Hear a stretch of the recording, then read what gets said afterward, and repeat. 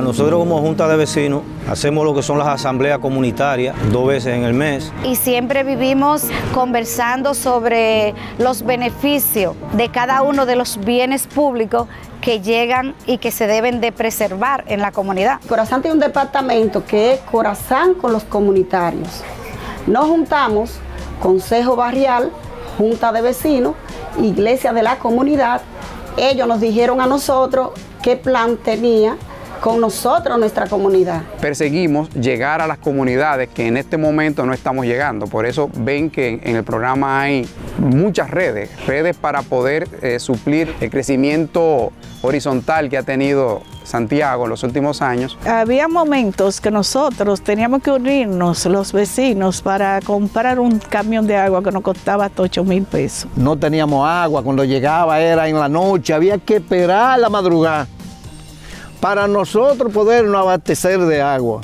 Y ya usted sabe la fila que había que hacer. En el salón eh, yo gastaba como 1.500 pesos en agua, porque cada vez que tenía trabajo no lo podía dejar ir por falta de agua. Durábamos así hasta media hora para poder buscar una lata de agua. Y eh, teníamos que ir a 700 metros de nuestra casa a, a donde estaba el agua.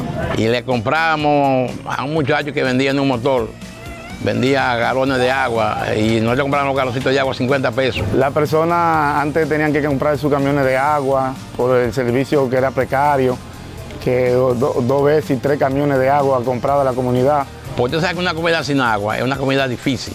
Entonces de aquí salíamos a pedir tienes de agua para los señores de para allá arriba, a que, nos, a que nos dieran galoncitos de agua, porque no había, no había aquí.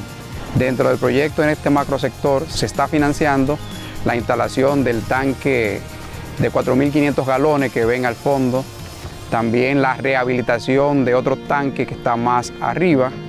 Y las líneas que van a suplir ese tanque para luego por gravedad suplir a toda la comunidad de Gurabo y, y los sectores aledaños. La gente de Corazán se reunieron con nosotros, nos dijeron que íbamos a tener este proceso, que nos iban a hacer estos tanques de agua, que nos iban a meter la tubería, donde íbamos a tener la facilidad de, que íbamos a tener agua en nuestra casa y gracias a Dios ya la estamos recibiendo. Luego fueron mejorando el agua, entrando cantarilla por la calle 2 del Legido de nuestra comunidad. Entonces así se puso la tubería nueva en el barrio entero. Llega el agua, llega con mucho más presión o sea que entendemos y vemos que cuando abren un poco el agua, si no nos cuidamos mucho, nos da duro en la espalda cuando nos estamos bañando. No, no, ya nosotros tenemos que ir al río, ya tenemos todo, todo tenemos agua en nuestra casa, no tenemos que ir aparte a buscar la tierra. No tenía como la fuerza que tenía ahora, ahora tiene más, más presión. En, el patio sí tenemos agua, eh, bañamos nuestros perros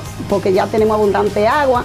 En el baño llega agua suficiente, ya no tenemos que echarnos con un jarrito porque ya de la llave sale abundante. Nuestro sector ya está satisfecho con respecto al agua, porque tenemos agua en abundancia y de buena calidad. Pero gracias a Dios aquí no podemos quejarnos del agua. El agua aquí llega perfectamente bien y con buena presión. Ahora con el agua del corazón ellos se ahorran ese, ese pago de esos camiones y el agua le llega a su casa diariamente. Mejorando vidas. Mejorando vidas. Mejorando vidas. Mejorando vidas. Mejorando vidas.